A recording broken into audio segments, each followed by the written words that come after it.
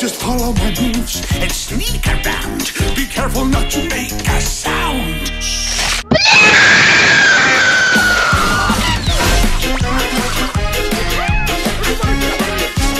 Выключи свою хуйню!